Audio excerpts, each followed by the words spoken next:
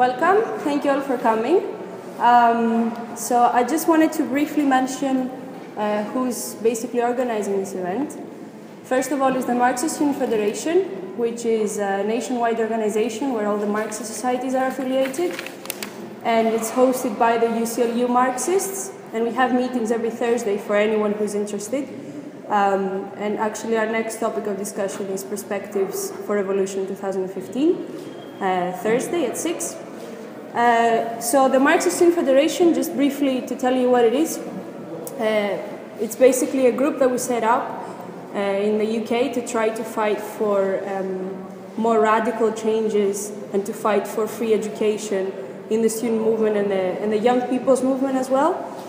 So, um, basically, if you want to be part of it, you can join us, become a user of the website, you can get a magazine for free and everything.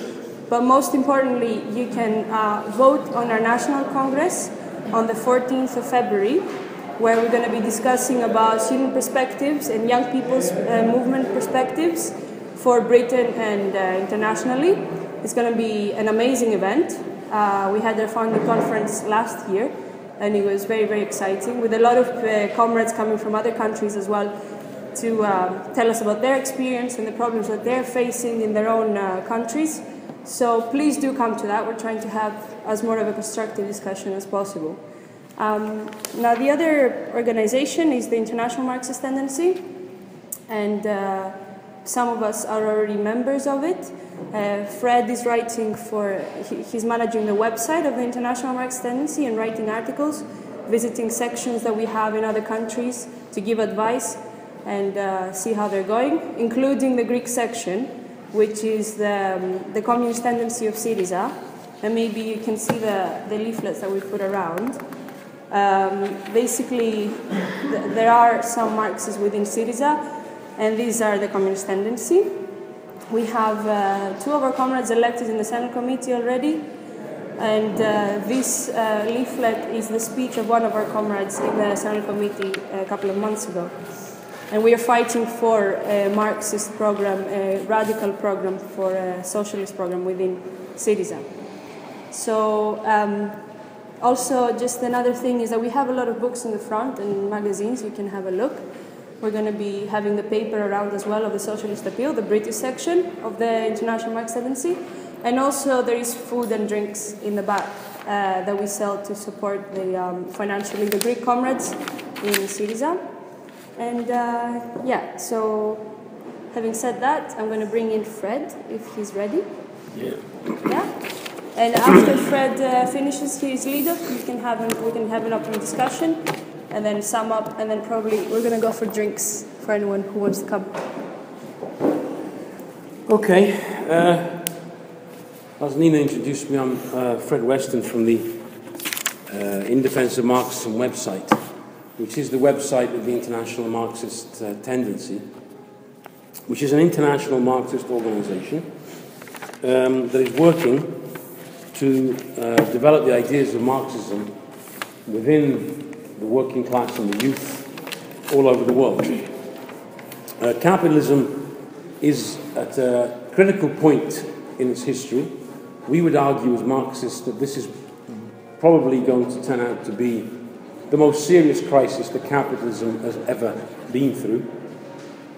Um, worse than what we saw in 1929, and on a much bigger scale. Now, having said that, it may seem that we might, we might be exaggerating in what we're saying, but um, if you look at what's happening around the world um, and the crisis that we're in, you will see that we're only at the beginning of a process. They have not solved the crisis that erupted in 2008. And just to, just to put into context the Greek situation, a few minutes on the world situation is necessary because we cannot understand what's happening in Greece without understanding what's happening globally. And you can't even understand what's happening in the whole of Europe without putting it in the global um, scenario. Now, in 2008, we had the beginning of the crisis that we're still living through, and that is particularly affecting Greece in a very severe way. Um, What was that outburst of crisis in 2008? It was presented as a banking crisis, a financial crisis. But that's only part of the picture. In reality, it's a crisis of the whole system. It's a crisis of the capitalist um, economy. Because why was there such a financial crisis? Well, the banks, on a global scale, had lent huge amounts of credit uh, to companies, to governments, um, and to individuals. You will all, well, most of you look quite young, but I'm sure you remember when it was quite easy to get a credit card and it was quite easy to get a loan. In fact, banks were throwing money at people. The policy was pump credit into the economy to keep the market going. Now, there was an unprecedented um, expansion of credit in the past 20, 30 years. It was one of the ways in which capitalism can temporarily um, get around one of its contradictions. Now, I'm not going to go into a deep discussion about how the capitalist economy works, but you all know that in order to make profit, you have to sell things. Now, there are some capitalists who make profits without selling things. They're precisely the bankers um, who lend money um, and get an interest on that. But in general, within the system, you know, all of you, I'm sure, have your iPads and iPods and iPhones and whatever. You've spent money on buying those goods, and somebody has produced them. Now, under capitalism, you have to sell your goods to make a profit. For the past 30 years, there's been an, an offensive against the working class in terms of real wages, uh, hours worked, levels of productivity, etc. Immense pressure um, you cannot attack workers on wages and conditions and, and expect the market to expand at the same time. Workers, if you attack workers on, on their wages, you inevitably are going to affect the market. And in order to um, balance that out, there was a massive expansion of credit, which provided uh, purchasing power within the economy as a whole to make up for the loss of um, purchasing, purchasing power in real wages. Now, that can work, and it worked for several decades. At what price? At the price of enormously increasing the level of debt everywhere. And certain banks reached a point where the level of debt owed to them was reaching a critical point where banks were actually in, in danger of collapsing. The response to that was a massive injection of public money, i.e., the governments of Europe handed over billions of euros, billions of pounds to the banks in order to stop them from collapsing. Now, that had a generalized effect of further increasing public debt, either debt of the governments of the states of, uh, of Europe. And this was also the case in Greece, where the public debt was particularly high. Greek capitalism has traditionally um, uh, lived off the back of the state um, through public investments, public handouts, um, etc. And uh, a relatively uh, uh, backward capitalist economy within the context of, um, of Europe. Now, after they bailed out the banks, the, the, the public debt massively increased. What was the answer of the capitalists to that? You see, the capitalists are not very consistent in their principles. Up until recently, their position was the state is bad, anything to do with the state is bad, push the state out of the economy, it must all be private. Um, therefore, everything had to be privatized, the health service had to be privatized, education had to be privatized, uh, and cuts in public spending had to be made everywhere. But then when their own banks are on the verge of collapse, they suddenly flip and change their position. The state turns out to be not such a bad thing if it hands over billions to the banks. So it, they, they went begging for money to the banks. Now imagine if, on the other hand, you were an unemployed Greek worker on the verge of uh, starvation because you can't afford even to buy basic uh, food, and you went to the government of Samaras and you said, I'm poor, I'm hungry, uh, I haven't got enough money. Would you give me a bit of money? What would the Samaras government say? Any Greeks here have a, have a guess? I'm sure he, they wouldn't just hand over the money and say, well, here you are, here's a helping hand. No, they'll say, sorry, the market, it's the economy. Um, so this, the, it depends on how rich you are.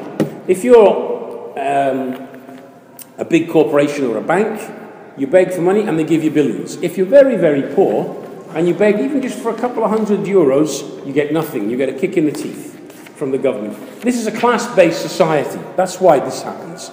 And the Greek government behaves uh, accordingly. Now, what they did is to say, well, look, the public debt is now very, very big. You can't have such a big debt. Uh, we've got to pay off our debts. So we've got to cut our spending. So, what kind of spending did they decide to cut? Well, spending on education, spending on healthcare, spending on uh, public transport, spending on government services, government offices, etc., um, cutting the wages of the workers in these sectors, and even sacking workers. So basically, they're making the working class, the workers who produce the wealth, to pay for the fact that they handed over billions to the banks who originally uh, contributed to the mess in the first place through their policies, what it shows is the, um, that, that, that, there's an, um, an unresolvable contradiction within the system.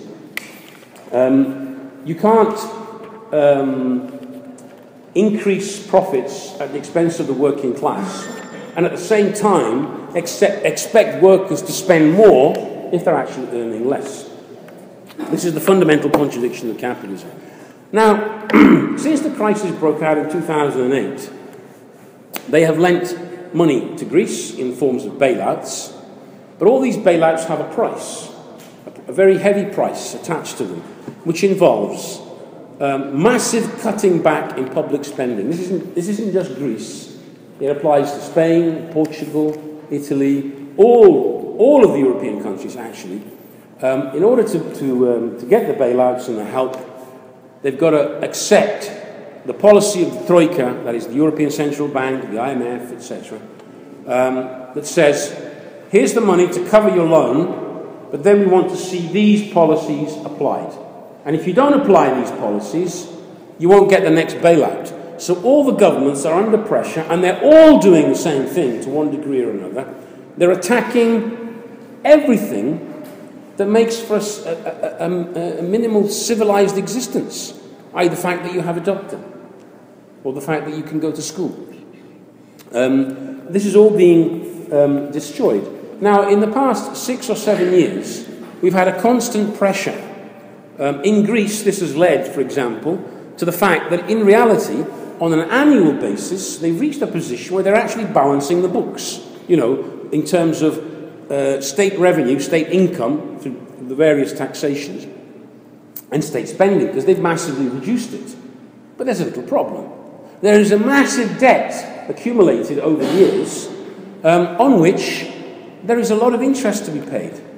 I think the, the, the figures I saw that um, it's more than 4% of GDP in Greece is being consumed in order to pay the interest on the accumulated debt. So that money is being taken out of the pockets of ordinary working Greek people and it's not being used for productive investment, it's not being used for healthcare or schools or whatever. It's being handed over to the people who lent the money to Greece.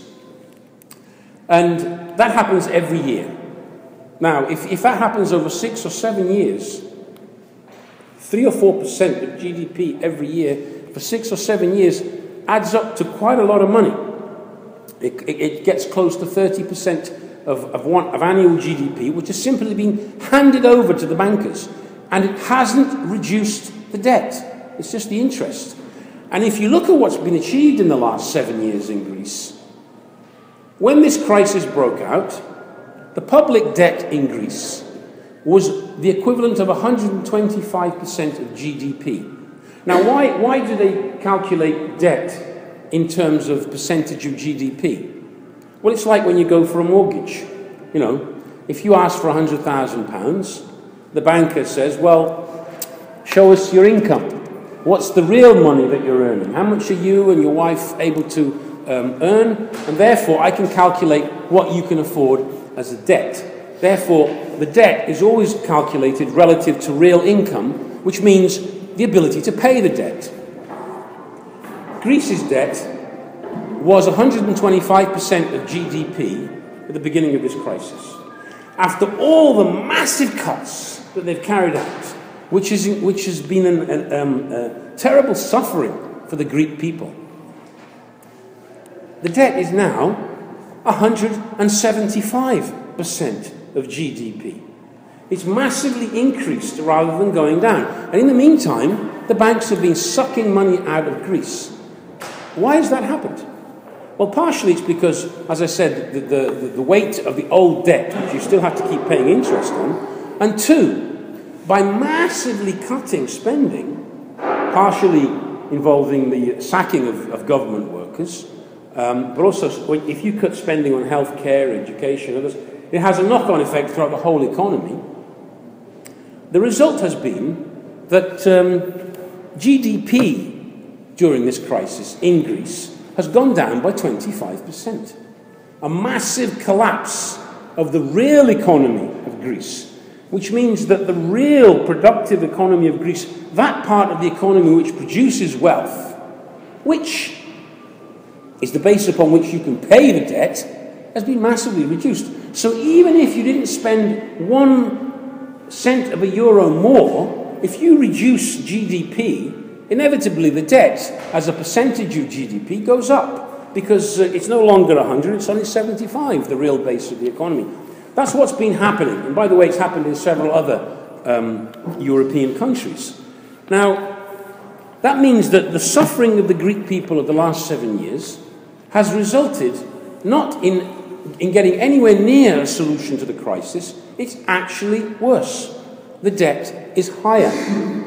And now Greece is, not, is, is once again in the news because it's, it's quite clear Greece is not able to pay that debt. And yet, what is the solution? what is the policy of the European Central Bank, of the European Union, um, the Germans, or the German finance capital on this? Greece must continue to apply the same policies that it has been doing for the last seven years. Mm. Which means more cuts, more uh, suffering. You know, in Greece, you already have um, a huge development of poverty. Two thirds of the youth is unemployed. Something like one third of the population is unemployed. Wages have been massively cut. Now, I'll, I'll, explain very, very simply the relationship between Greece and Germany in terms of industry. The productivity of Greek industry is about 30% less than German industry. That's not because the Greek workers work 30% less. You know, they spent their time in tavernas and coffee bars and, you know, enjoying themselves. That's not the case. If you look at the average working week in Greece, it's actually higher than the average in Europe in terms of how many hours are worked. Workers work hard. And yet their productivity is lower. Why is that? It's not the fault of the Greek workers. It's the level of technological input into the Greek economy, which means the level of investment of Greek capitalists in industry to develop it is lower and has been lower historically than the Germans. The Germans have, invested far more, and therefore they have a more modern industry. And um, in the same number of hours worked, a German worker will produce more than a Greek worker. Not because he's working harder, but because when he presses the button on the machine, the machine produces twice as much than the machine in the Greek. That's because the Greek capitalists historically have, uh, have uh, arrived on the scene of history late, and as I said, partly leeching off the state, making money and stashing it away in places like Switzerland and, and other places, um, not investing. So the, the, the fact that Greek economy is not as competitive as the German or, or, or, others like the French or the Dutch or whatever, is not the fault of the Greek workers. Because the same Greek worker emigrates to Germany and produces more, uh, actually earning more as well. Um, not too much more these days, but more. And although he earns more in Germany, he produces more profit than in Greece. And that's because of the level of productivity. The reason, as I said, the fault of that is the Greek bourgeois, um, the bourgeois class. Now, what can be done in this situation? Well, if the prospect on a global scale was one of an expanding world economy, quite a significant expansion would be required, then little Greece would find a little bit of room within the world economy and would be able to export a little bit more. But what is the situation? Well, have you noticed the price of oil? Price of oil has fallen below $50. Um, why? Why is the price of oil falling? Well, it's simple. There is no demand for it. Why isn't there the demand for it? Because industry has slowed down on a global scale. China is slowing down. Uh, Russia's in a severe crisis. Between the sanctions and the fall of oil, this last year Russia must have lost 140 billion dollars. The eurozone, what's happening in Europe? Well, in Europe, it's not just the price of oil which is falling, but it's, it's the price of everything. Deflation has hit the economy. Now, the price of oil falling is a significant element, but it's, as I said, it's, it's the lack of demand. Now, you would think that falling prices would be a good thing, wouldn't you? If you go to the shop and, and whatever you look at is cheaper than it was, you would think, wow, this is fantastic. I'm, I can buy more. But look at what, the, what happened when the price of oil came down. You would have thought the stock exchange would have gone up. Because, well, oil's coming down, therefore the cost of production is going down, therefore it's going to be more profitable. The stock markets collapsed, they went down. Why? Because the fall in the price of oil confirms the real situation on a global scale, which is collapsing demand. And the prices now in the Eurozone, inflation, there is no inflation now, it's deflation. Now, you remember a few years ago, all the policy was bring inflation down. It's got to stand at about 2% or just a little bit under. Now it's below zero. Prices are going down, and they're complaining. The capitalists are complaining. Because what happens? Well, I'll show you. If you go to, to buy a house, let's say £200,000, and there's deflation, there's lack of demand, and you know that house in a year's time is going to be 180,000, and in two years, 170,000. Well, who in their right mind would buy a house that's going to, whose price is going to fall like that? You get a mortgage for £200,000. In one year's time, you still have £200,000 mortgage on your shoulders, but the house is worth 180. And if you sell it, you still you, you give 180 to the bank and you still owe them 20,000 and you have nothing. Therefore, the tendency would be not to buy. Wait. And it's a downward spiral, a situation like this. Japan went through that for over a decade and they still haven't gotten out of it. It's an indication of how deep the crisis is. The, the collapse in demand is the reason for it. Now, it's not just oil. The price of coal has come down. The price of most raw materials is coming down. And that's because the sellers of the raw materials can't sell them because there isn't demand. The price is coming down. And it's, it's actually further destabilizing the world situation. Oil producers such as Iran, Nigeria, Venezuela, and others are going to be, and Russia, are going to be facing um, serious problems. Now, in this context, an expansion of the world economy is ruled out in the coming period. And Europe is particularly at the heart of this crisis. Now, the only way Greece could get out of this crisis on a capitalist basis would, would be to export its way out of the crisis. That's the talk you always hear export our way out. That means they'd have to be more competitive. In a, in a, in a, in a falling market where there's more sellers than buyers, if you want to sell, you've got to cut your prices. But if you cut your price below the cost of production, you go bankrupt. You're not going to make a profit. The only way in Greece that they can become more competitive is two. There's two ways. The Greek bourgeoisie massively invests its wealth in developing um, industry. And the point is this in a world economy where there isn't demand, capitalists tend not to invest in developing industry because the market's not there. You invest a huge amount of your wealth and then you can't sell your goods. There's another way of increasing productivity. Massively cut workers' wages. Because if you make the workers cheaper, then the final product will also be cheaper. And anybody here from Greece can tell me what the wages are like in Greece today. What can a young person expect to get? You know, 500 euro jobs are quite common, even less, even less now. Um, that's the reality of uh, the situation. They've massively attacked wages, um, cutting wages, in order to balance that difference in productivity. But the problem with, with that is they've also massively cut the market in Greece as a consequence. So, by the further you cut wages in Greece, the more you cut the, Greek market, the more you have to export to counterbalance what you're not selling in Greece. Little problem. Italy, a much bigger economy than the Greek economy, the third economy in the Eurozone, they're doing the same thing.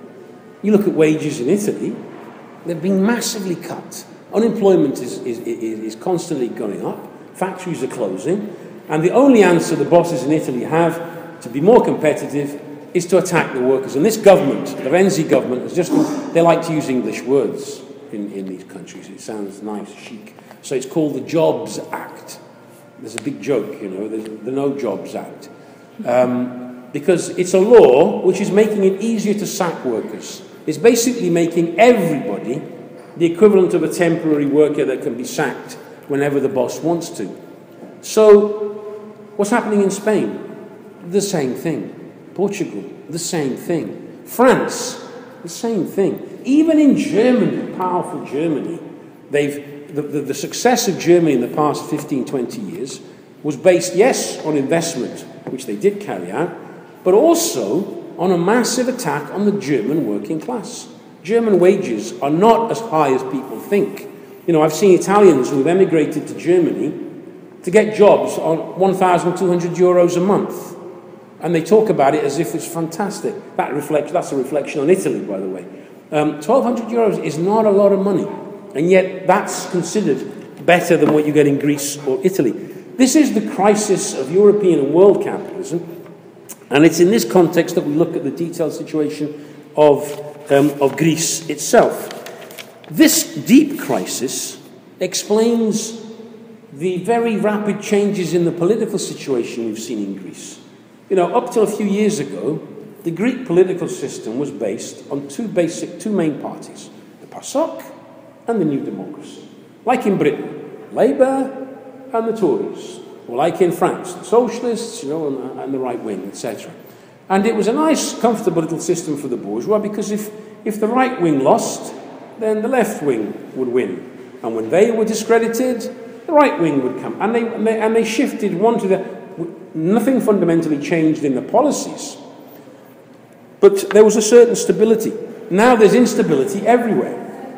In Greece, the vote of the PASOK collapsed as a consequence of being in a government with new democracy and carrying out austerity. Um, similar things are happening in other, in other countries. That's why we have Podemos in Spain.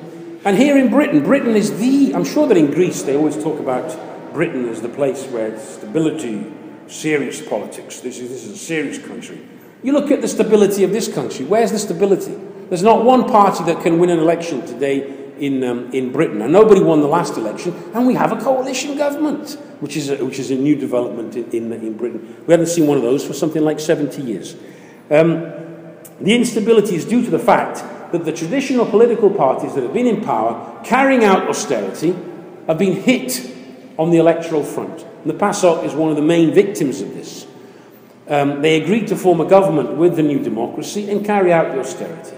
That explains the massive shift of vote um, to Syriza. Not so long ago, Syriza was considered, to be honest, any Greek will confirm this, by a lot of people as a bit of a joke. It was that small little party of 4%, Synaspismos, um, the, real, the real serious people were the New Democracy, PASOK, and KKE on the left. You know, um, Synaspismos was um, a minor party. But what we see is the rise of Syriza in one or two steps, first to 16%, then, then to more. And now, at the end of this month, the most likely perspective is that Syriza will get a majority, or at least will be the first party, not, not a majority, will be the first party, because of the electoral system that gives a bonus to whoever comes first, um, they might even get a majority. That, that, that, that's something we can't see. Um, uh, there's no crystal ball which tell us exactly how it will be. But it will be the main party. Now, the bourgeois internationally are worried about Greece because they, they, they know they could trust the new democracy and the PASOK and the other people in government. But Syriza is a new uh, phenomenon for them. Tsipras is a new phenomenon.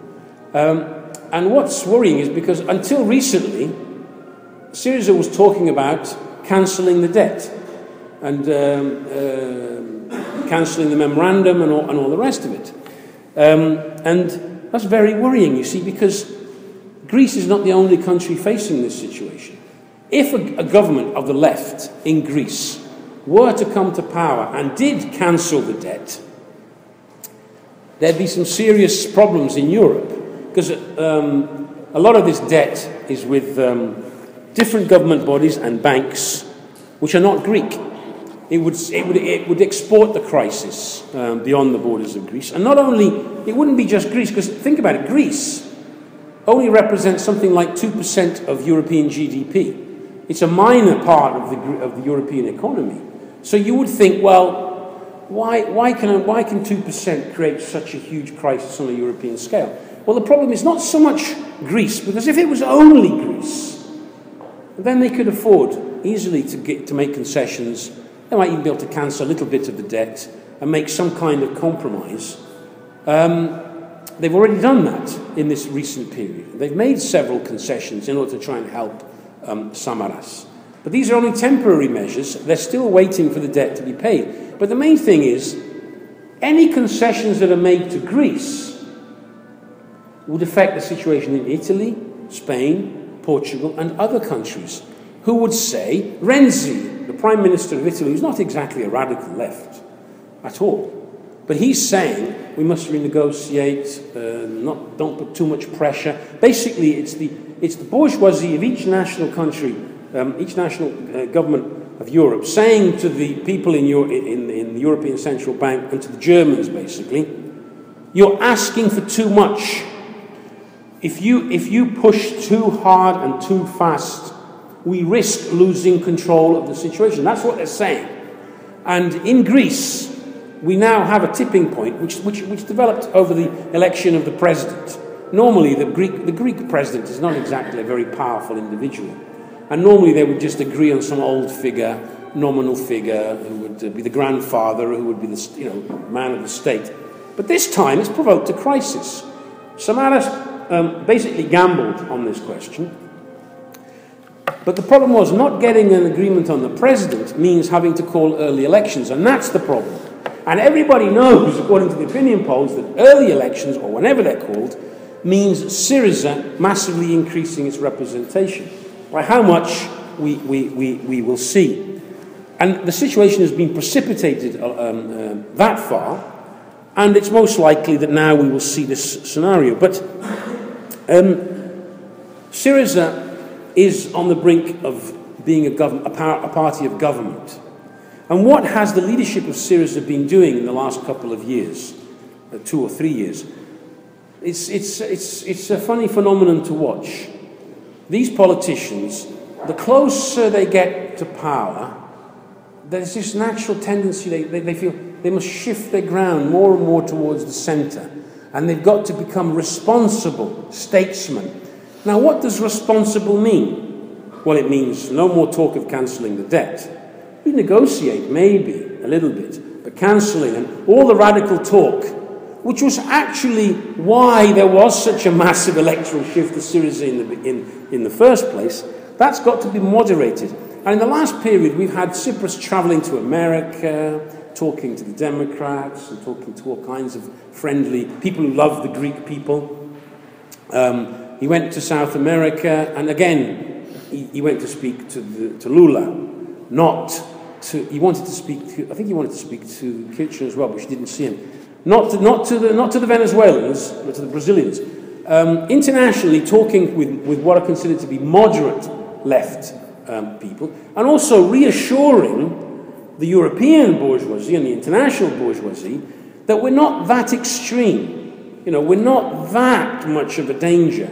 And there are articles appearing in the press where they actually say openly, well, Syriza isn't that dangerous. You know, before they were, they were a bit more concerned because they can see the direction it's going in. And some of the MPs of Syriza, um, their left credentials are of dubious validity. Uh, their origins are not exactly on, on the left. Um, and the advisors, there's all kinds of people now talking to Tsipras and pushing him in a certain direction, um, making him realize that some of the radical language of the past has got to be put to one side because now you have to be responsible. But responsible to who? We would say as Marxists, you want to be responsible? Yes. To the unemployed. Tell them how you're going to create jobs. To the poor, low paid workers, tell them how you're going to increase their wages. To the students, tell them how they're going to have a decent education and at the end of it expect um, a decent job. That would be responsibility from a left wing point of view. The point is, if you're not prepared to break with capitalism then you've got to try and run the system within capitalism. And, that, and uh, has said quite clearly that we're going to stay in the euro, stay in the European Union. Now, what does that mean? There are criteria for staying in the, euro, in the euro. And that means the policy we've seen up till now. In order to stay in the euro, it means what a, a left force that comes to power in a European country must carry out the cuts and the austerity dictated by um, the European Central Bank and other powerful entities. And um, there is a lot of talk of, um, well, we don't have to abolish capitalism, we can find a middle road and we can compromise. Now, the question is this with the level of debt in Greece, how much of that debt can be cancelled without causing a problem? And if, and, and, further, and, and I'll say, if you cancel the Greek debt, which, you know, theoretically possible, are you then going to cancel the Italian debt? The Italian debt is a much, much bigger debt than anything that the Greeks um, uh, have accumulated. It's something like 2 trillion euros, a huge amount. You cannot cancel that without uh, a major financial collapse in Europe. That's the reason. So Greece is like the little cog in the big machine but it, has a, it plays a key role um, in this. Now, um, in the past period, we've also seen massive mobilizations of the Greek working class. Very often you have cynics on the left who, um, who say, you talk about workers being revolutionary, ah, but they're racist, ah, they don't do this, that. If you look at Greece in the last seven years, there have been at least 30 general strikes. Some of them very powerful general strikes. Some of them 48 hour general strikes. We've seen the big mobilizations in Syntagma Square, massive movements of the youth. The point is this what have those protests achieved? Have you noticed any gov- anybody in government in Greece after a general strike saying, Ooh, we better review our austerity program here because uh, otherwise the workers will go on strike? You have none of that. They just say, one day strike, okay, right and more austerity, and more austerity. Why? You see, they know the trade union leaders of Greece. That's the problem. They know these trade union leaders, a lot of them who come from the PASOK, now they have no party to affiliate to, um, they don't call general strikes with the idea that, right, we have a one day general strike, we show that there is genuine uh, willingness to struggle because millions of workers uh, participate, and there's huge demonstrations, and we show that the working class is prepared to fight, and then based on ourselves on that, we go to the people at the top and we say, unless you back off, we're going to call an all-out general strike. We're going to paralyze the whole of Greece. Oh, no, no, no, no. That's not the way they think. They think in this terms. Well, if we don't call a strike, our members are, not, are going to protest against us. In order to keep them happy, let's call a one-day general strike we'll march them from Syntagma or whatever it is, Omonia and all the rest of it, and then everybody back home. And then the effect is, after one, two, three, ten, twenty, the workers start to think, what's the point of taking part in a general strike? You see, if you've never had a general strike, the slogan of the general strike can be a very powerful one. In Britain, for instance, if you had a general strike, it's almost 100 years since the British had a general strike. Um, they're different traditions. But where you've had one after another over several years, and it's not changed anything, the message that sinks in is um, this isn't achieving anything. And so then you have a general strike where people don't take part like before, and the leaders, what do they say? Ah, you see, I told you the workers are not prepared to fight. There's no willingness to fight. Instead of understanding why the workers are, reach, uh, uh, drawing those conclusions, that explains also the shift on the political front. Not having been able to stop the austerity with, through uh, the trade union struggles, a lot of Greek workers are looking to the elections now and saying this, this is a way of changing things. Um, bring Syriza to government, and this will be the, at, at the very least, it will soften the, the austerity and, and, and, and reduce it, and, and maybe some of what we've lost will come back. The point is, um, we as Marxists believe that is not going to happen. What's going to happen is Syriza will win, with whether, whether it will be with an absolute majority or not, we shall see. Then it will proceed to try and negotiate with the European Central Bank and the, and the European Union some kind of concession to Greece. The Germans are increasing the pressure, saying, no, you must carry out the, uh, the policy that we've uh, dictated. Uh, all, there's a little bit of bluffing here going on both on, on all sides. But more and more Gre- uh, European bourgeois are drawing the conclusion there's only so far we can go with Greece, and at a certain point, maybe we'll have to let Greece go and leave the euro, uh, with all the consequences that that will have, of course. There are some on the left in Greece who say, back to the drachma, uh, and that will solve everything. It's been calculated that if Greece were to pull out of the euro and reintroduce the drachma, the drachma would devalue by 50% immediately. Because who wants the drachma? Can you imagine? Who would want to buy Greek bonds in drachmas in a situation like this? If you had your money, if you, if you were capitalists with a lot of money, would you do such a thing? No. You'd put your money in Germany or in Switzerland or in New York or maybe in London, but you wouldn't put it in, um, in Greece. There would be a collapse of the economy on a capitalist basis. The problem is this if they stay in the euro and the European Union, will this solve the problems of the Greek workers? No, it will not.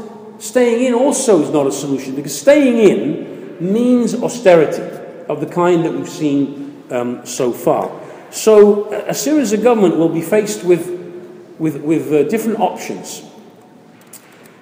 Either it can try and negotiate with the capitalists, who will not um, give everything up simply because Syriza has come to power. They will put immense pressure on Greece. We've seen it in the past where a, a mildly left government tries to carry out a few reforms. Because the economy is in the hands of the bourgeois, they can organise such things as a strike of capital, flight of capital, uh, massive drop in investment. Um, they have various instruments because they have the economic levers of power in their hands. And they will create economic chaos and then blame Syriza. You know how people think?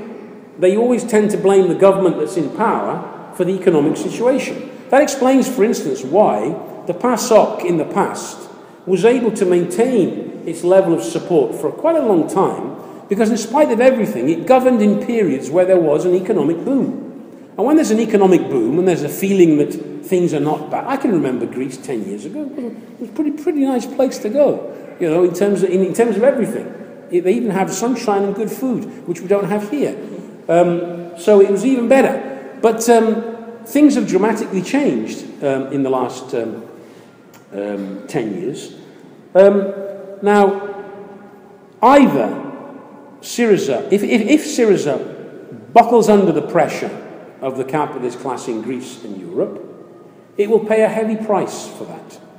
Because Syriza is a recent phenomenon which has risen on the back of this crisis. It's a reflection of the depth of the crisis, but it's not a traditional party which has roots, strong roots, which connect, which tie the working class to it.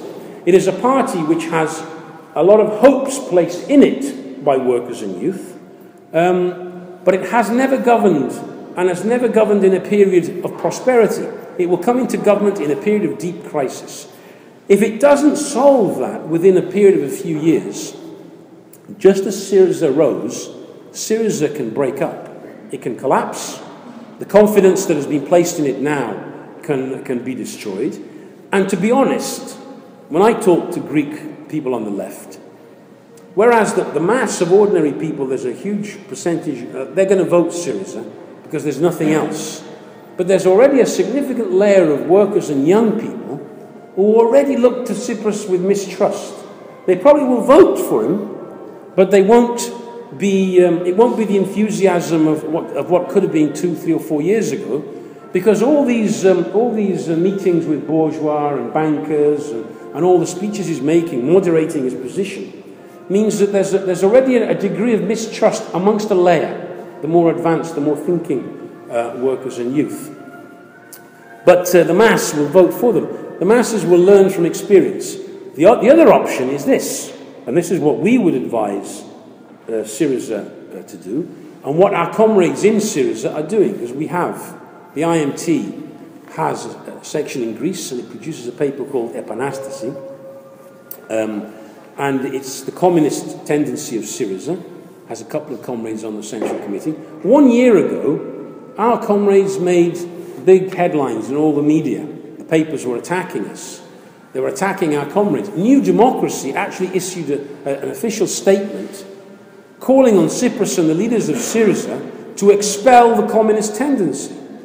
Now think about it. How big is the Central Committee of Syriza? It must have 300 people on it, maybe. It's a very big body. There's two Marxists of the uh, Epanastasi there. Not exactly in a position to take over Syriza and transform it into a, uh, a revolutionary communist organization. It's a tiny little tendency explaining its ideas and fighting for, um, for Marxist ideas. And yet, New Democracy puts big pressure through the, uh, the media, etc., to expel them. Now, why? Well, the answer is this the intelligent bourgeois understand what Marxists understand.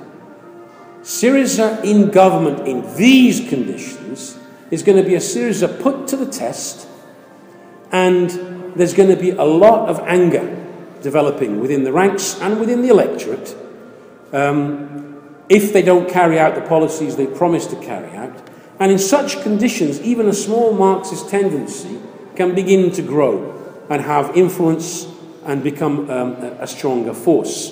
Because otherwise, why, why bother? You know, it is still a very small tendency. We are very modest in our approach. We're not a mass, anywhere near a mass tendency or mass party um, we have a small group are, uh, with clear ideas.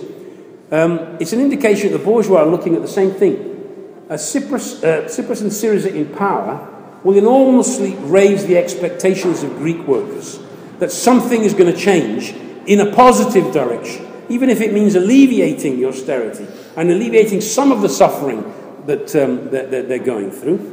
But because of the nature of the capitalist economy, that's not going to happen. And therefore, um, instead of more stability, it's going to be greater instability in Greece. Now, what should Tsipras do? Now, what I'm going to say, I'm sure some people will think maybe utopian. He should fight the elections on a bold socialist programme, which should be we're going to cancel the debt, the whole debt. We're going to nationalise the monopolies and the banks of Greece, and we're going to put them under workers' control.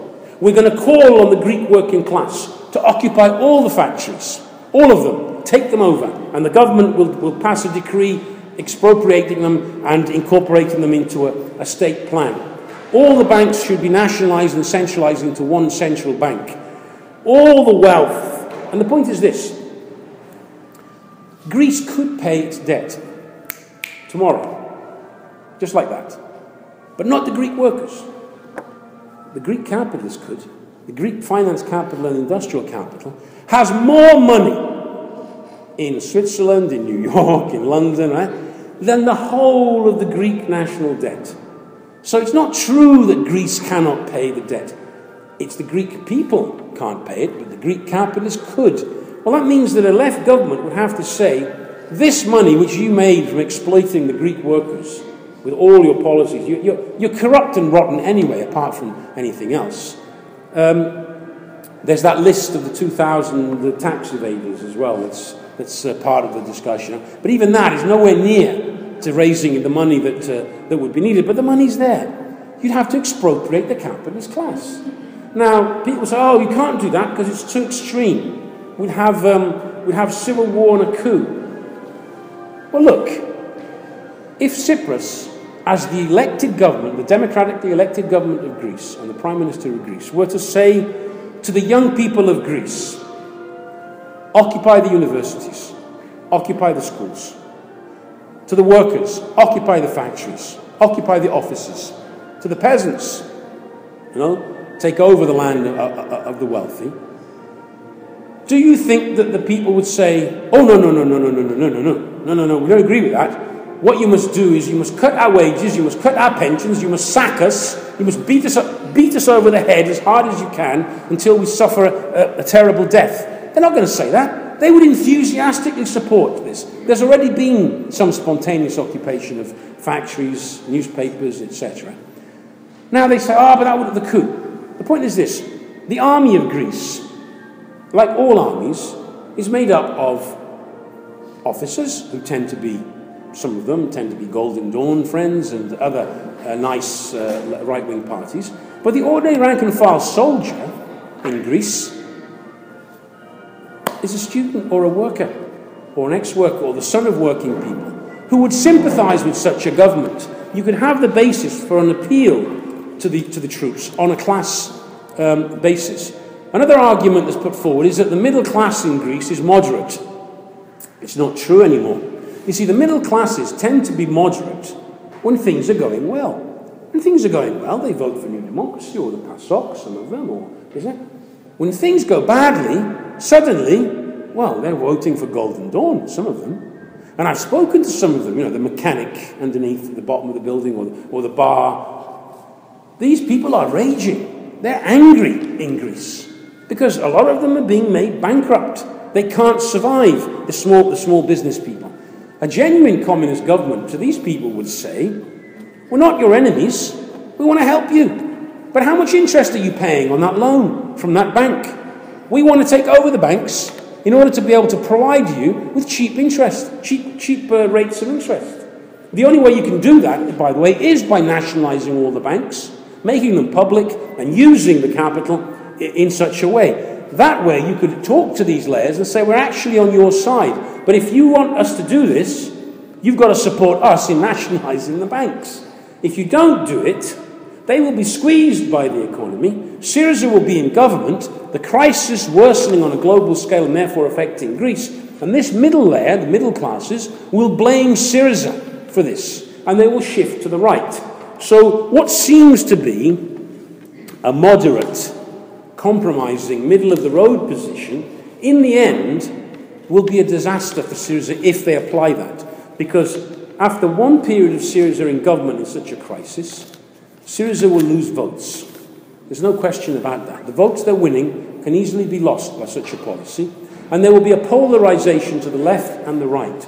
The Golden Dawn is a warning to the Greek workers. Uh, they overdid it a bit. I mean, I mean, they were crazy. I think they thought, they thought, um, they, I think they really believed that they were on their way to doing what Mussolini and Hitler did. You know, we're going to take power. Look at all these votes we're getting. The bourgeois of Greece, although they're reactionary, they're not that stupid. You provoke the Greek workers like that, and you're preparing a modern day civil war. The traditions of the civil war are not dead in Greece. So, what did they do? They arrested a few of the Golden Dawn leaders. It's like slapping them on the wrist. Naughty, naughty. You mustn't do this because you can provoke that big monster over there, which is the Greek working class. So they've pulled them back in. Some of them are in prison. Um, but they're not going to destroy the Golden Dawn. They'll most likely recycle it, maybe change its name. They will keep it as a force because it's a force which can be used against the working class um, in Greece. And in the long run, in the long run, years down the line, the Greek bourgeoisie will prepare a reckoning with the Greek workers because there is no middle road on this. At this stage, they are going to send Syriza into government. They're going to send the working class to the school of Syriza where they will learn what, what reformism really is. And in the process, what the Greek bourgeoisie hope to do is to smash Syriza through that experience, splinter it over the years, and hopefully they think the KKE won't take too much advantage of it, and demoralize the Greek working class politically. That's the aim of the bourgeoisie. Because history shows you don't carry out coups against a working class which is, being, which is mobilizing and moving forward. First, you must demoralize the working class. And throughout history, the Social Democrats in Germany successively over several years demoralized the German working class to the point where the Nazis could take power. The same happened with the Italian socialists who allowed the, the fascists to take power um, uh, and, and other experiences of this kind. This is part of a process which the bourgeoisie could win, and if they do, the Greeks will pay a huge price. But it's also a battle that the Greek workers could win. But for that, Syriza has to adopt a revolutionary program. It cannot be, stand in the middle in such a deep crisis. You can't serve the workers and the bourgeois at the same time in, in, in this situation. That's why we would argue that Syriza must adopt a Marxist program and at the same time offer unity to the KKE. When, when, when, if you remember, the Greeks will remember, not so long ago, when Syriza was on the rise, there was a moment, didn't last very long, there was a moment of hope that the KKE and Syriza would come together and there would be unity of the left. And they could have won, they could have won the elections earlier with a, with a front. You know, imagine a communist front, uh, and, and, and Syriza. And if the KKE was serious in its policies, it would abandon its sectarianism and would offer unity to Syriza. But on what basis? We're prepared to support you every time you take a measure in defense of the interests of the Greek working class. That's our, that's our condition. They're not even prepared to do that, because if they did that, then they would actually start to increase their support, even amongst Syriza voters. In spite of that, a failure of Syriza will also strengthen the KKE to the left and the Golden Dawn um, to the right. There'll be a polarization. The KKE is, another, is, a, is a separate issue. Its sectarianism is, is, a, is a huge problem and an obstacle to the development of the Greek working class. But it's there, and in some parts of Greece it's grown, precisely because there is a radical move beyond um, Syriza. But you see these leaders, they do the, they, the, the one thing the Greek workers desire, which is the unity the left forces to form a government. That's the one thing they do not do. And they leave the workers with an idea that there isn't there's no hope. There's no way out. There's no solution. Um, we've got to patiently explain all this to the electorate uh, that's going to vote for Syriza, to the youth, to the radicalised youth, and also to the ranks of the KKE. Criticise them on a friendly basis for their uh, mistaken approach, because the situation is potentially revolutionary, and the workers could take power. Now, some may say that's very utopian, but the answer we would give to that is it's the only way of alleviating the austerity and solving the problems.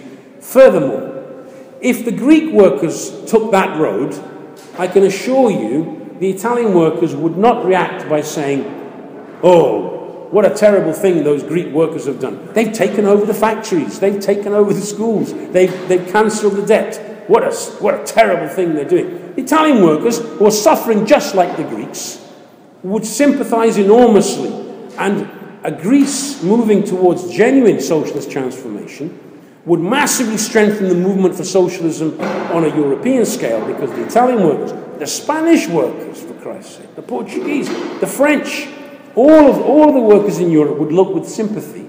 And our task within the labour movement in all the countries would be to use, if, if Greece went down that road, to use it as an example by which to explain what should be done in Italy, in Spain, in France, and in Britain too, at, uh, at some stage.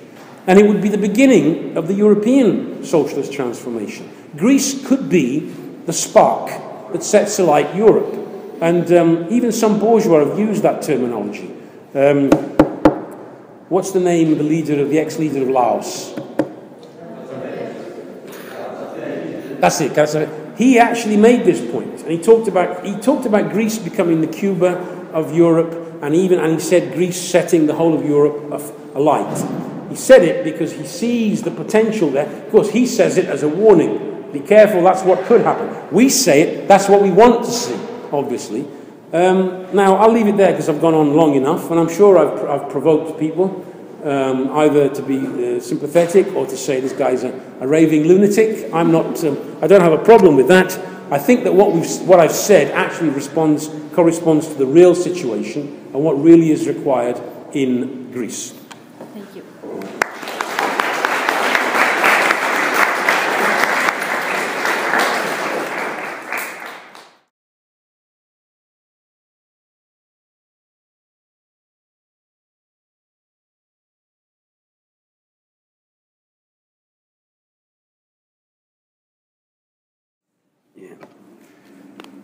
On the question of currency devaluation, a currency devaluation is not something that you can just decide to do or not to do.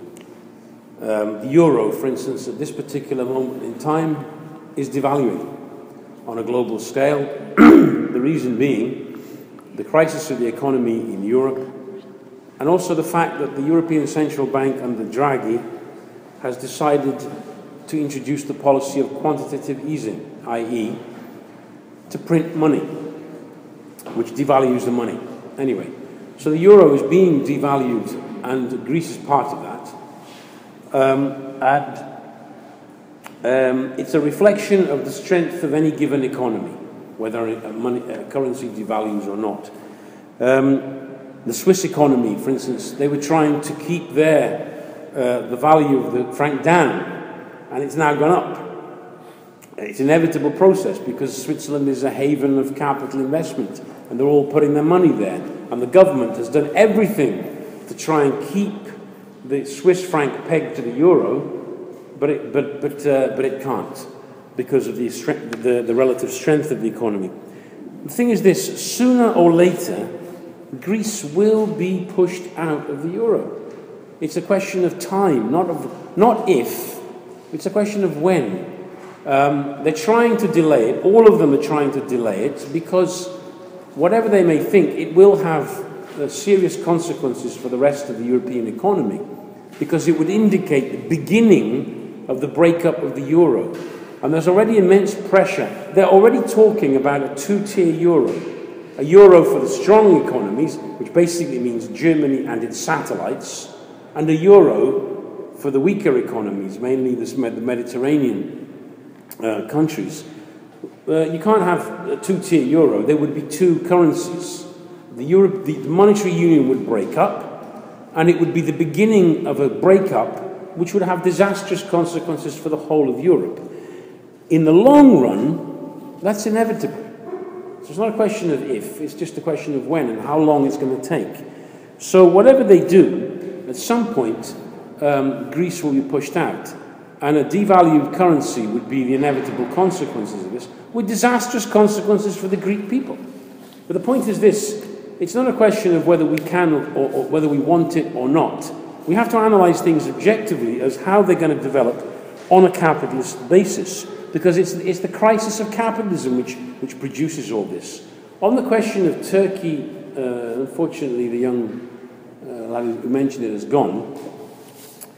Turkish expansionism, very good. The idea that Turkey could invade Greece uh, just like that, without any consequences, is really out of, is beyond reality. Because there's another thing. There's such a thing as the Turkish working class, which is a very powerful working class with strong traditions, with its own unions. And you saw the Turkish youth just over a year ago when they, at Gezi Park, all over Turkey. It made the headlines globally, this massive protest of the Turkish youth. And if you remember the protests around the mining accident in Turkey, which brought out the real class issues, where that mine had been tested and the government had declared that it was safe when it was not, and many miners were killed. You saw the real face of the Turkish working class. If, if the Greek working class were to move in a radical direction, the Turkish working class would sympathize. It would not say, oh, yes, the Turkish, the Greek workers are challenging their bosses, but we're stupid, we don't want to challenge ours. And we'd support our own ruling class to crush the Greek workers. It wouldn't be like that. It would be the opposite. A revolutionary development in Greece would actually accelerate the revolutionary developments in Turkey, which we already saw the beginnings of around that protest in Gezi Park. We have to have an internationalist perspective and un understand that. Um, but if your argument, and unfortunately this is an argument, oh, if you're too radical, then there'll be a coup. If you're too radical, then the army of the, well, in, in, in Italy, it was always the Americans would intervene. The Americans are going to intervene if we do anything radical, which is an excuse for the reformist leaders to do nothing. Because if that is the case, you can never carry out any reform which challenges the interests of the capitalist class seriously because it's going to provoke reaction of some kind, either a foreign intervention or a military coup. If that's the position, then let's say it honestly. We are not going to do anything to upset the capitalist class, and we will do whatever they tell us to do. Because that's the position. That is actually the position of the reformist leaders of the labour movement, unfortunately. Um, the, the, the, idea, you know, this idea the working class is racist, it's backward, it's nationalist. The working class changes and it draws conclusions and its ideas change and what it wants changes on the basis of the crisis of the system. If the capitalist system can give workers jobs, decent wages, decent pensions, an education for their children, good health care, housing, then the working class will accept capitalism. Why fight capitalism if it gives you a decent living?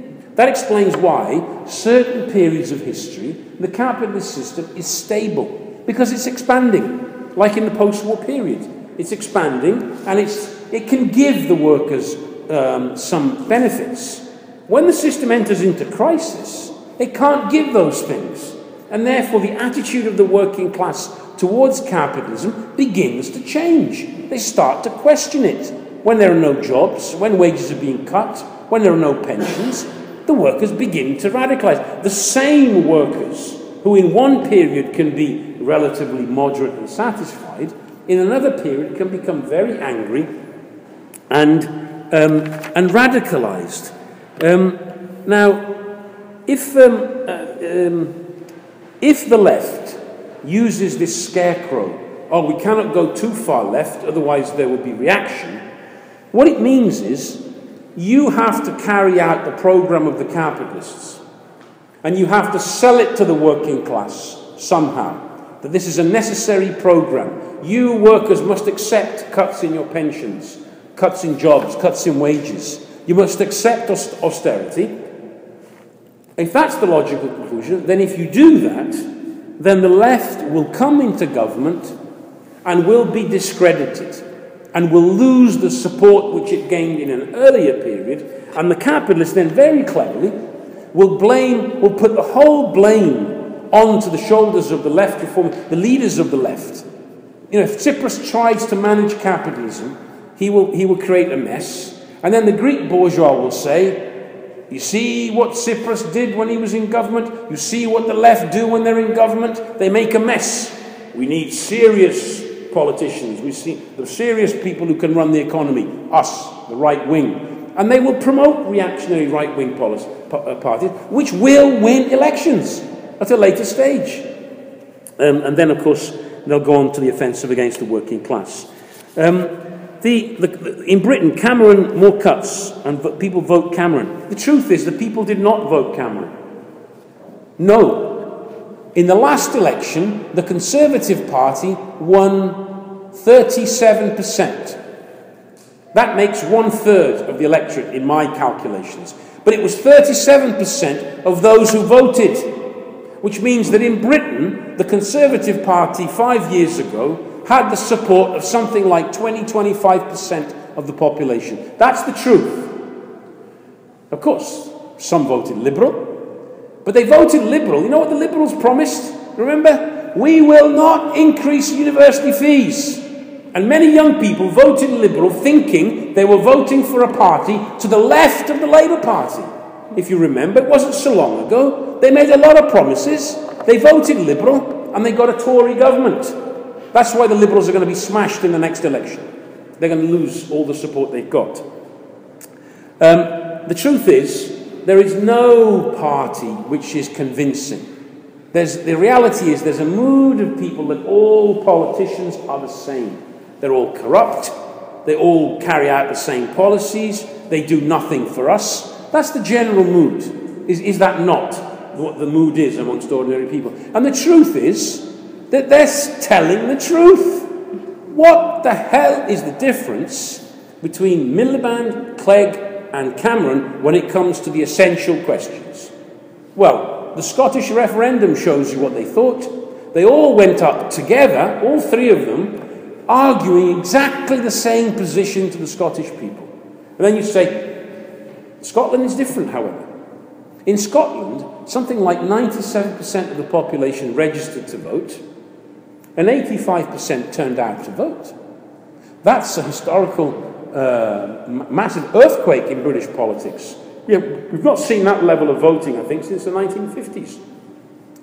But they voted, a lot of them voted to break away from, from, uh, from the United Kingdom. On what basis? The SNP said, if we break with the rest of Britain, we'll never have a Tory government again and we won't have austerity. So it was a massive swing against austerity and against um, the Tories. In the rest of Britain, there isn't an alternative. I don't want to open the discussion on Scottish nationalism, which is a separate uh, question. But here too, let's not forget, we have had some very big demonstrations in this country. When there was the Iraq War, two million people marched on the streets of London to tell Blair, we don't want war. What did Blair do? What did he do? Did anybody notice him going, oh, oh dear, I'd better not go and bomb Iraq because there's two million people on the streets? He thought, yeah, two million, demonstration, I'll go home tomorrow. I'd still continue. And that creates also the cynicism towards the politicians. So people say, well, look, massive protest, he still goes to war. We've also had some very powerful trade union demonstrations, up to one million on the streets of London in trade union demonstrations. And what have those demonstrations achieved?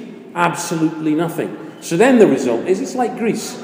The leaders of the left, they know what they're doing. Mobilize, achieve nothing through the mobilization, and then create an idea that fighting on the streets and struggling is pointless. And that creates a kind of despondency and, and a resignation, and then they get, up, they get on with it. To give you an example of what the reformist leaders do, in 1970, a left government was elected in Chile, the Popular Unity Government of Allende which governed until 1973, when there was a coup d'etat. Now, the Chilean army carried out an attempted coup in July of 1973. Do you know what the reaction of the Chilean masses was? Does anybody here remember? Ah, you can't remember, you're too young. 800,000 Chilean workers and youth in a population of 10 million, very similar to Greece in size. 800,000 on the streets of Santiago. And what were they chanting? Allende, Allende, pueblo te defiende. The people will defend you. And another slogan was, give us the guns. We'll defend you. You know what Allende did? Very popular. He said, no, no, no, no, no, no, no, no, no. Calm down. There is no danger of a coup. I have spoken to the military chief, who happened to be a guy called Pinochet. Loyal to the Constitution, he has sworn loyalty to the Constitution. He will not carry out a coup. Uh, he defends democracy. And told the workers to go home. A few months later, Pinochet organized a coup in the full knowledge that Allende would not mobilize the workers of Chile against him. And therefore, he was able to use a small percentage of the army, the special troops, 80% of the Chilean army was kept locked in the barracks. Why? Because they were the sons of working class people. They used the spe- and they, they didn't need to use them because the, the leaders of the government, the leaders of the left, had demobilized the working class already. They'd already surrendered. That's, that's, that's the problem. And that's the danger in the future in, in Greece. But the thing is this people do learn, you know. This idea the working class is not internationalist or the working class is racist First of all, it's not true. Working class is not one homogenous mass where all think the same. But people and working people learn from experience. They go through experience. Otherwise, they would still be voting for the PASOK, would they not? They drew a conclusion. The PASOK is no good for us. What did they do? They shifted to what seems to be something better, something more radical, indicating a radical move to the left within Greece. The masses will vote for Syriza and they will push Tsipras into government, which I think he himself is rather, he's not, he's not too happy about the prospect of having to run the Greek economy at this particular moment in time. But he will be pushed into government, and the experience of a Syriza government is going to, sh to show all the limitations of reformism in Greece. Um, uh, one, Uh, you said it, you know, it's a bit too late. Yes, obviously, in one week, I don't think Tsipras is going to change his mind because the communist tendency with two members on the Central Committee is warning him of the disastrous consequences of his policy. No, he's going to march on and make deals with the bankers and the European Union and all the rest of it. And he's going to try and negotiate and compromise and all kinds of it. But he won't solve the crisis of Greek capitalism and European capitalism, and the masses will learn. The consequences will be, at a later stage, an electoral shift to the right it's not a question of wishful thinking or dreaming. This is an, an objective analysis of what is inevitably going to happen. But there's also going to be a radicalization to the left within the left, because the, the conclusion, the, the lessons will be drawn. And in those conditions, Marxist ideas can become much bigger force. Because what we are saying will be confirmed and tested by, um, uh, by reality. You know, the Bolsheviks in 1917 became a mass force. Why? Because they refused to join the provisional government. They criticized it from outside. The Mensheviks were more powerful than the Bolsheviks. They had far more support. And they were in the government, um, in the provisional government. And Lenin struggled to keep the party out of that government and maintain a principled position. Eventually, you know what happened? You know, they became a mass force and they took power in, in 1917. Now, imagine if Lenin had been thinking, well, if we're a bit, if we're too radical, you know, there's going to be a coup. Oh, if we're too radical, there's going to be an invasion. Well, what would he have done? He would have joined with the Mensheviks. There would have been a defeat of the provisional government, a military coup. Kornilov and, and, and the other generals were already marching on, on the main cities. They would have crushed the revolution in the coup, and today, instead of discussing the Russian Revolution, we'd be discussing the defeat of the working class in 1917 at the hands of the army. Um, on the question of propaganda of the media, well, the media is putting immense pressure on Tsipras through its propaganda. There is also the reactionary, uh, more right wing media, um, which is terrified of the prospect of a Syriza government, but not so much because they fear um, Tsipras. I think, let me see, there's a New York Times article which I want to, if I can find it. Oh, where is it? It's in here somewhere. But basically, it's a New York Times article which came out yesterday, I think. And it's, he said in the article, um, here it is. It was published beginning, uh, beginning of January, actually. Um, it actually makes out the point that Tsipras isn't that frightening after all. Um, he's, um, he's rather, you know, rather a moderate, a moderate individual. What the article makes out is the conditions of the working class and the cuts in wages is creating such resentment that the masses, basically the masses who will vote for Tsipras, are not going to stop at that. They're going to wait for the results, and late, later on they're going to radicalize. And they could, the government itself could come under um, could come under immense um, pressure um, to move further. And um, what's happening is it's a phase in a process. The crisis of capitalism led to the demise of PASOK and the rise of Syriza. Syriza is going to be projected into government and it's going to be put to the test concretely by being in government. I've argued in many meetings the, the points I've argued here, and I meet, I've met Greeks and non Greeks who have this approach. Well, really, are you not exaggerating a bit? Aren't you overdoing it? Isn't this going too far? Surely Tsipras isn't, is okay. Surely he knows what he's doing, and all the rest of it. Um, it's a natural tendency. People want to see Syriza in government and doing the right thing. Unfortunately, with the indications he's given all the speeches he's making indicate that he's moving towards a more and more moderate position, which means he will not be able to carry out the radical policies. And what will prove it concretely will be actually the, the events themselves. And we can sit here theoretically and discuss what he will do, what he won't do. The concrete test will be once they're in government. And in those conditions, Marxists like ourselves, in internationally and in Greece, by putting forward a principled, clear explanation of what is going to happen, we are going to be strengthened. Because what we're saying is, is going to happen. Sorry, one second. I remember 1974, Labour government was elected in this country after the miners' strike. The miners brought down the Tories. And Labour, and basically the Prime Minister Heath, he said, called an early election and said, Who runs this country? Is it the unions or the elected government? Well, the masses of people told him the unions because they voted Labour and kicked out the Tories. We, the Marxists in the Labour Party, were saying now the Labour Party has two possible roads. Either it accepts the austerity which is being demanded, or it carries out a socialist programme. There's no, there's no third way. Initially, I can remember as a young comrade then being attacked by ordinary Labour members because they well, you're, you're too impatient. Give them time. Surely our Labour leaders know what they're doing. And it, you had to struggle patiently and argue your case.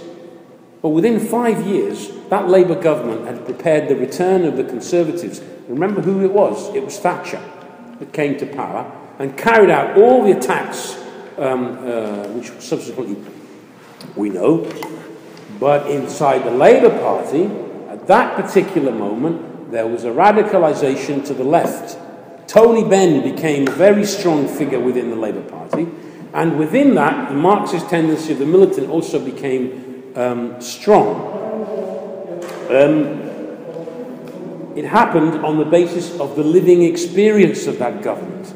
What we said theoretically as a perspective beforehand was confirmed by reality. As a consequence, at that time, we were strengthened. Because people were saying, well, what, you, you were right.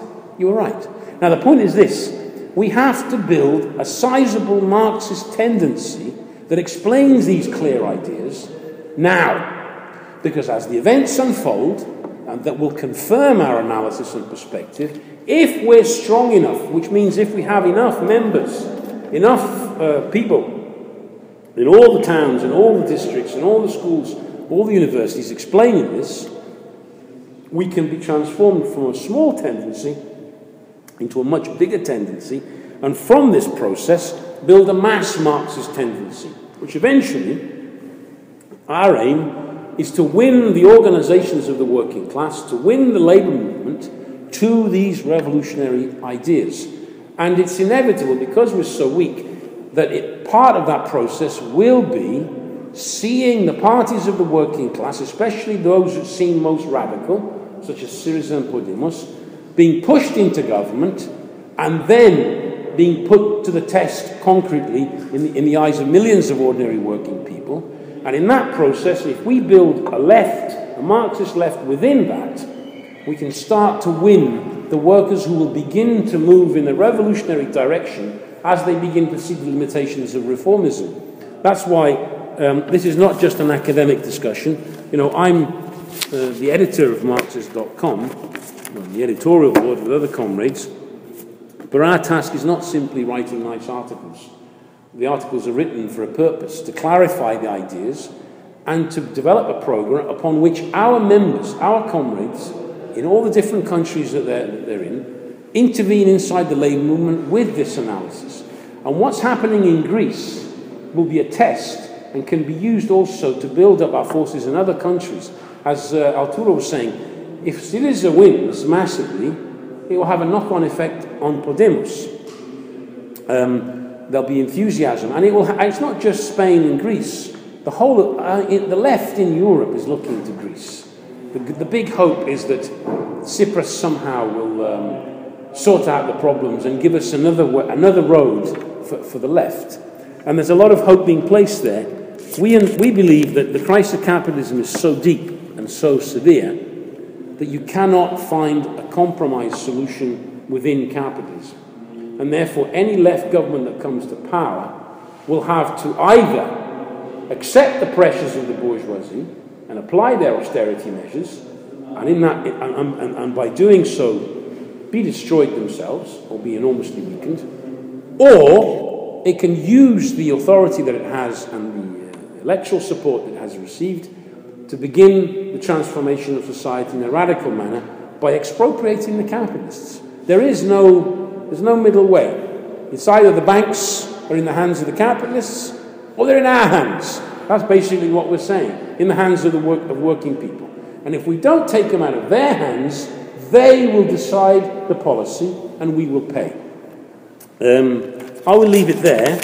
Um, and if people want to come to the pub afterwards uh, to continue, welcome to do so. And keep coming to meetings. Leave your email address on the list. If you haven't done so, do so, please.